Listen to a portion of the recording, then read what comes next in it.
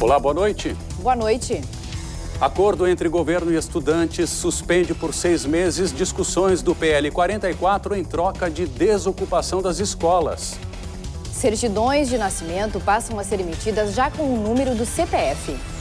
Justiça determina encontro de conciliação entre professores e governo para discutir liberação do centro administrativo do Estado.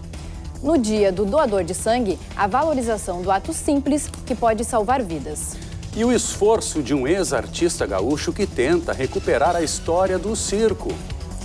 Você vai ver agora os principais fatos do dia na capital e no interior do estado.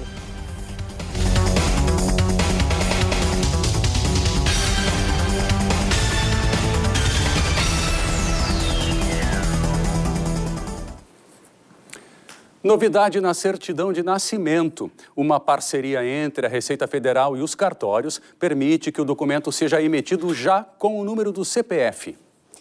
O procedimento, que não é obrigatório, ajuda a prevenir fraudes e a duplicidade de inscrições.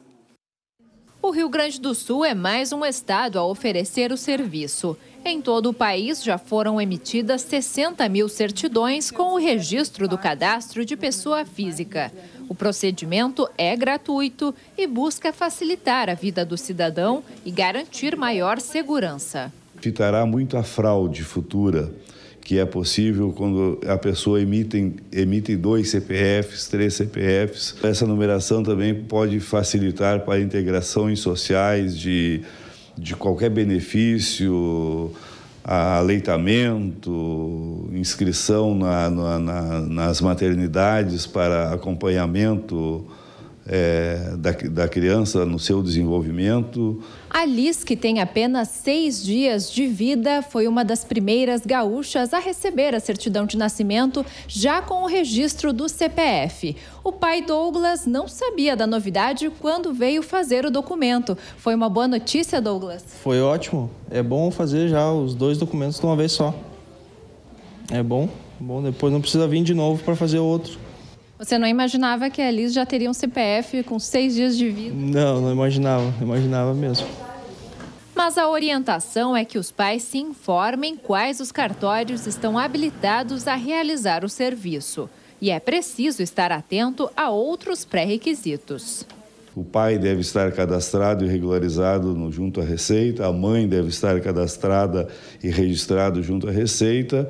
É, eles não devem ter nenhuma limitação junto à Justiça Eleitoral também, devem estar aptos a votar. Para começar a emitir as certidões com o CPF, os cartórios precisam assinar um termo de adesão ao convênio. A expectativa é que em pouco tempo aumente o número de estabelecimentos aptos a fazer o registro, inclusive nas maternidades de hospitais conveniados. A economia do Rio Grande do Sul encolheu 4,3% no primeiro trimestre do ano. Apesar de negativo, o desempenho do estado foi melhor que o nacional, revertendo a tendência dos últimos meses. Conforme a Fundação de Economia e Estatística, o resultado reflete a queda menos acentuada na produção da indústria gaúcha. Entre os principais setores de atividade, apenas a agropecuária acentuou a retração diante do trimestre anterior, devido principalmente ao impacto do clima nas lavouras de arroz. Você já doou sangue alguma vez? Cada doação pode salvar até quatro vidas. Hoje, Dia Mundial do Doador de Sangue, o Hemocentro do Estado pede ajuda da população, pois está enfrentando uma queda de 30% no número de voluntários. É que as baixas temperaturas afastaram muitos dos que costumam ser solidários e doar sangue aos hemocentros. E sem doador, os estoques também baixaram menos de 2% da população brasileira doa sangue, de acordo com o Ministério da Saúde. No Rio Grande do Sul, a queda de temperatura dificulta ainda mais a situação. Mas a Marlete não se intimida com o frio. Para quem doa é gratificante e a gente sabe que é importante porque eh, se sabe da falta de, de, de sangue né, que tem. Né? É um gesto que é muito simples, é muito simples, não é demorado. Né? E a gente sabe que é importante para tantas pessoas, salva tantas vidas. Né? O Hemocentro Gaúcho, que abastece os bancos de sangue de 48 hospitais conveniados no estado, precisa de pelo menos 1.500 doadores por mês. Esta é a primeira vez que a Camila doa sangue e não vai ser a última. Faz tempo que eu quero doar, mas nunca tive a possibilidade, depois engravidei e agora achei que era o momento de doar. Veterano em doação de sangue, o Jorge é um dos muitos anônimos que salvam diariamente vidas sem pedir nada em troca. Eu dou sangue desde os 18 anos, estou com 47. E ao mínimo uma vez ao ano faço doação. E hoje especificamente estou doando para uma colega, né? Então a gente sempre deixa uma reserva, assim, em caso de emergência, né? Mas normalmente eu dou uma vez por ano. As pessoas têm ainda mitos uh, com relação a isso, que engorda, que vicia, que emagrece. Enfim, nós uh, buscamos o esclarecimento das pessoas. Podem doar pessoas entre 16 anos e 70 anos incompletos. A pessoa tem que estar com uma saúde boa, não pode estar gripada, não pode estar grávida. Enfim, são uma série de critérios que a gente verifica na entrevista anterior à doação. Para saber como doar, no site www.hemocentro.rs.gov.br tem mais informações. O Hospital de Pronto Socorro de Porto Alegre também está com os estoques em baixa. Por mês, o HPS tem uma demanda de cerca de 400 bolsas de sangue. Conta mais barata. A tarifa de luz da Rio Grande Energia vai diminuir já na fatura de junho. O desconto médio para os clientes residenciais será de 7%. Já para os consumidores de alta tensão, a conta fica 8,2% mais barata.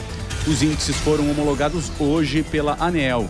Conforme a RGE, a medida foi possível devido à redução no preço da energia comprada de Itaipu e na cota de participação na conta de desenvolvimento energético. A quarta-feira continua com tempo firme na região central do estado. Em Santa Cruz do Sul, o dia será de sol com algumas nuvens, máxima de 20 graus. Mesma situação ocorre em Santa Maria, onde a mínima vai ser de 8 graus. Em Cachoeira do Sul, o dia vai ser de sol com baixa nebulosidade. As marcas chegam aos 20 graus. Ainda nessa edição, veja o esforço de um ex-artista circense para recuperar a história dos picadeiros. E depois do intervalo, Justiça determina a conciliação entre governo e professores para desocupação do centro administrativo do Estado.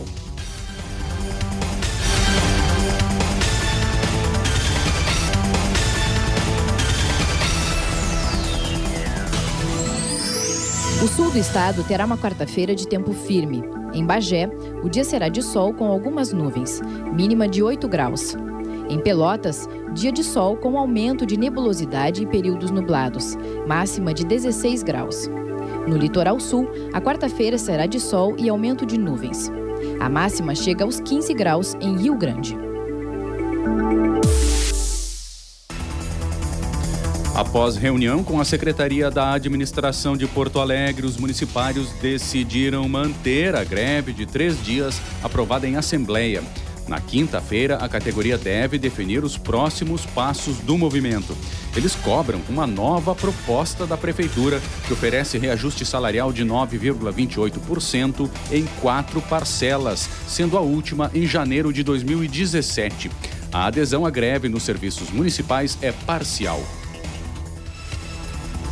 A Justiça determinou um encontro de conciliação entre governo e professores para discutir a desocupação do Centro Administrativo Fernando Ferrari. O pedido de reintegração de posse havia, feito, havia sido feito perdão, pela Procuradoria-Geral do Estado. Professores e estudantes ocupam o prédio e não permitem o acesso de funcionários. Conforme o governo, o bloqueio impede a prestação de serviços públicos. As manifestações iniciaram ainda na noite de ontem, quando também ocorreu a ocupação da Assembleia Legislativa. Cerca de 60 professores do CEPER Sindicato não permitiram a entrada dos funcionários no prédio principal na ala sul do Centro Administrativo do Estado, Fernando Ferrari, hoje cedo. O grupo participou de uma reunião com a Secretaria da Educação no fim da tarde de ontem. Sem acordo na negociação salarial, decidiu ocupar o prédio. Que é impossível né, caracterizar como uma negociação, o governo somente reafirmando o que já tinha reafirmado. Todas as entradas estão bloqueadas. O governo suspendeu as negociações com o CEPERS até que o prédio seja desocupado. Na Assembleia Legislativa, a ocupação é de estudantes e também iniciou ontem à noite. Na vigília, mantimentos foram trazidos para os alunos. Cerca de 40 estudantes permanecem no saguão de entrada do Palácio Farroupilha. Nesta manhã, a porta principal foi fechada, mas por seguranças do parlamento para impedir que mais estudantes secundaristas tenham acesso ao prédio. Uma comissão de quatro alunos foi recebida pelo líder do governo, deputado Gabriel Souza, e outros deputados para pedir a retirada do PL 44, o projeto que possibilita a parceria do governo com organizações sociais nas escolas e outros serviços públicos, o que os estudantes chamam de privatização. Eles condicionam a saída da Assembleia a um encontro com o governador José Ivo Sartori. Porque até agora não foi feito esse diálogo, a Secretaria de Educação já anunciou que não quer mais dialogar conosco conosco e a gente quer hoje uh, ter uma garantia de audiência com o próprio governador, que está há 35 dias ignorando o fato que tem 150 escolas ocupadas. É um adiamento da votação do PL 44, eles estão solicitando que a gente faça isso somente no ano de 2017, ou seja, não estão, estão avançamos para não retirada do projeto, mas sim para o adiamento. A presidente da Assembleia espera que a casa possa mediar o conflito uma casa pluripartidária. Eu diria que eh, aqui não estamos discutindo e, e, jogando partido por partido, nós estamos jogando por uma causa que é muito importante, que é a educação do nosso Estado. Se eles não saírem? Olha, se eles não saírem, nós vamos continuar negociando. Eu, eu acredito que nós vamos ter que achar um denominador comum que fique bom para as duas partes. A ocupação das escolas estaduais e a greve do CEPER Sindicato já dura 35 dias. E alunos da escola Apolinário Alves dos Santos, em Caxias do Sul, decidiram, depois de um mês, desocupar o local. Eles fecharam um acordo com a direção da escola e com o comando da 4 Coordenadoria, Coordenadoria Regional da Educação. No município, a comunidade escolar vem discutindo um problema que preocupa os profissionais de ensino. É que a maioria dos professores do ensino básico não tem formação específica na sua área. Para tentar reverter esse quadro, o Ministério da Educação deve lançar no segundo semestre um programa de vagas para qualificar esses docentes. A reportagem é da UX TV, nossa parceira na Serra Gaúcha. Daniela é formada em História, licenciatura há 13 anos. A nove trabalha com outras disciplinas além da específica de formação. O desafio de se preparar para outros conhecimentos, além dos dedicados nos cinco anos de graduação, acaba trabalhando os aspectos da interdisciplinaridade no profissional. Mas é claro, é sempre um trabalho a mais. No concurso, quando a gente passa, a gente já tem a noção de que a gente vai ter que trabalhar.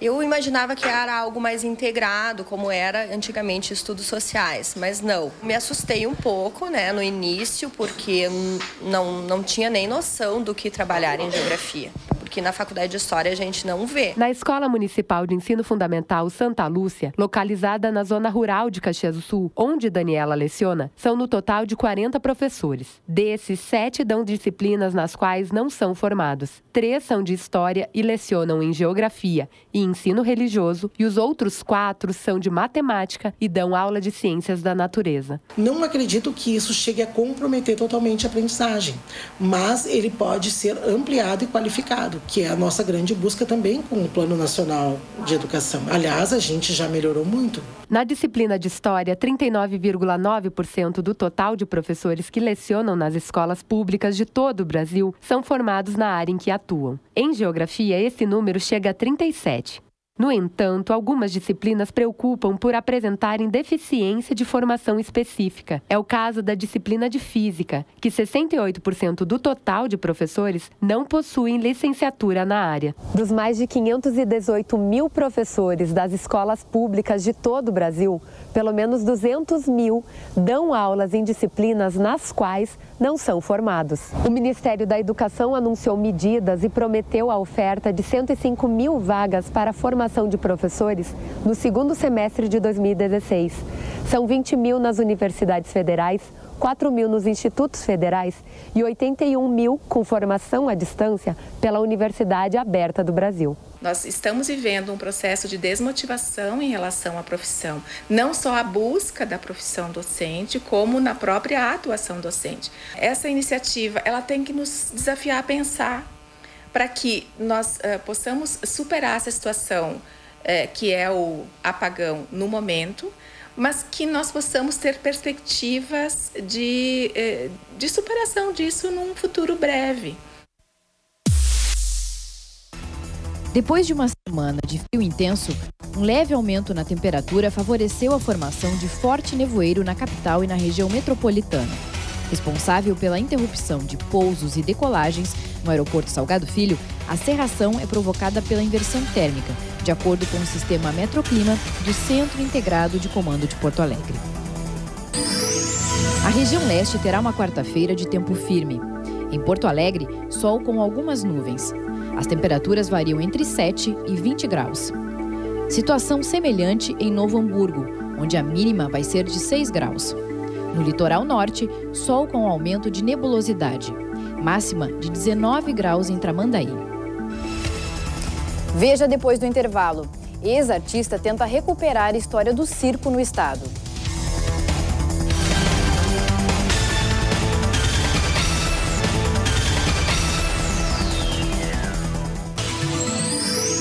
O tempo fica firme nesta quarta-feira no norte do estado. Na Serra, dia de sol com geada ao amanhecer. Em Caxias do Sul, mínima de 7 graus. Em Passo Fundo, o sol aparece entre nuvens. A umidade do ar chega aos 92%, mas não chove. A máxima chega aos 18 graus. No noroeste, o dia vai ser de sol com algumas nuvens, mínima de 8 graus em Ijuí.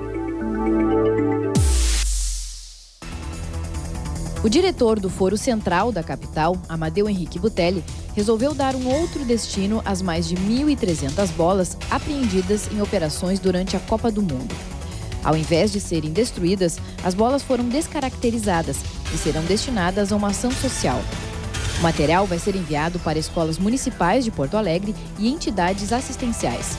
Mais de 50 mil crianças, adolescentes e adultos vão ser beneficiados com a doação.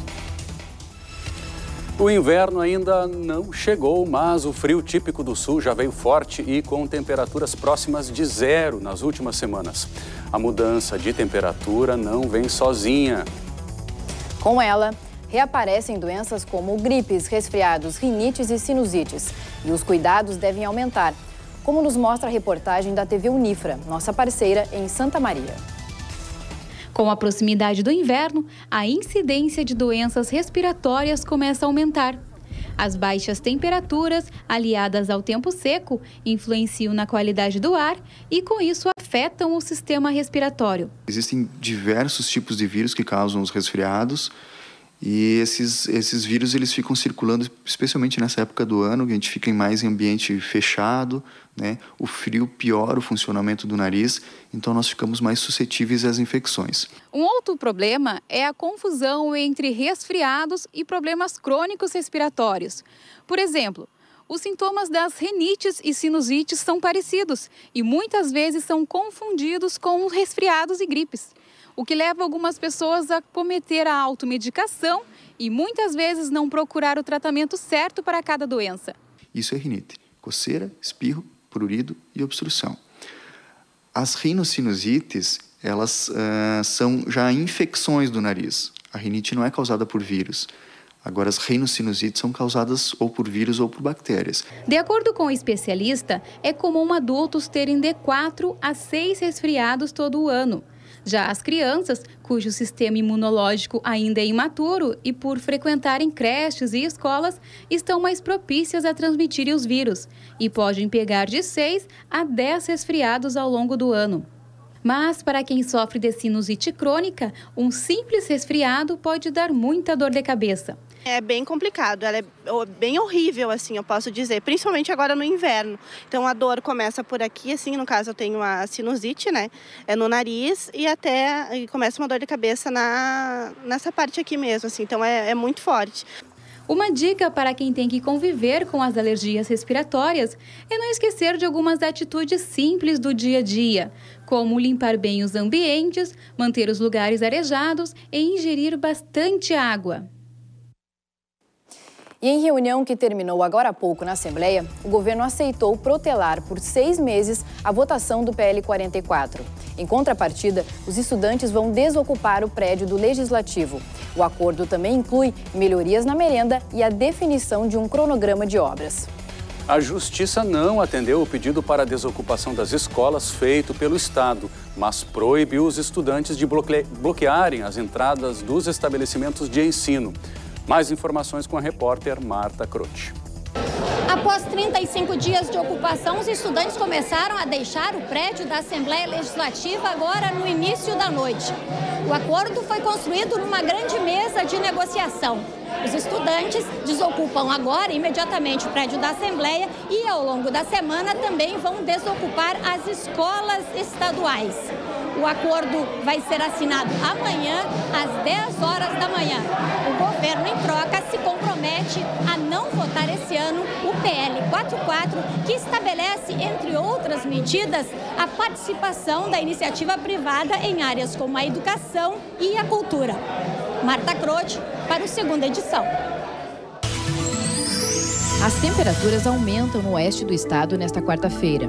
Na fronteira, em Uruguaiana, o dia será de sol com aumento de nuvens, máxima de 20 graus. Em São Borja, dia de sol e pouca nebulosidade. A mínima vai ser de 9 graus.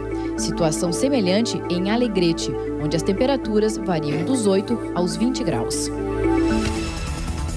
Os famosos circos que montados nos centros das cidades divertiam Adultos e crianças já não são mais vistos. Mas um ex-artista circense quer recuperar a magia do circo através de uma maquete. É o que você confere na reportagem da TV Fevale. Grandes picadeiros, animais ferozes, malabarismos e várias carretas que levavam o circo para várias cidades. Esses espetáculos eram o grande entretenimento do público, mas com o passar do tempo, novos números mais elaborados e modernos mudaram a estrutura do circo e reformularam o espetáculo. E para os artistas que faziam parte dessa época e sentem saudades do circo à moda antiga, uma solução. Aqui em Novo Hamburgo está sendo construída uma maquete que retrata o circo tradicional brasileiro pelo exercense Everton Anchieta. Então, eu fui equilibrista no Vostok, eu fui trapezista, eu trabalhei, eu fui domador de leões também. Os leões que eu tinha eram, eram filho dos leões do, do Vostok, o tempo que podia ter, ter animais.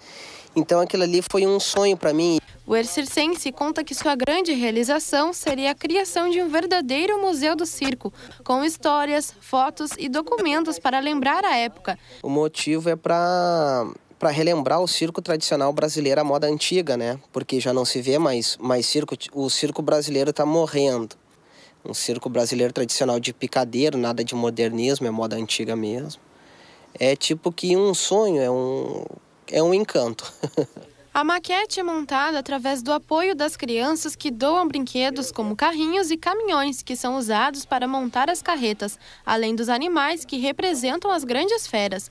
Quem quiser ajudar na construção da maquete ou também alugá-la para expor, pode entrar em contato pelo número 9266 0723 não deixar o circo morrer, né? Esse é o meu objetivo, relembrar o circo. Tipo, se tem alguém em Novo Hamburgo aqui que relembra o circo, esse alguém sou eu através dessa maquete, né?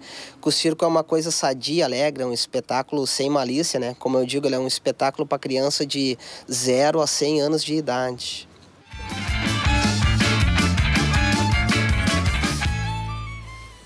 Nós encerramos com uma homenagem a Simões Lopes Neto, considerado um dos principais escritores regionalistas do país. Hoje, o autor que tanto valorizou o tradicionalismo gaúcho e a cultura do homem do campo completa 100 anos de morte. Nós voltamos amanhã, às 7 da noite, com novas informações. Uma boa noite para você e até lá. Boa noite e até amanhã. Está vendo aquele umbu lá embaixo, à direita do coxilhão?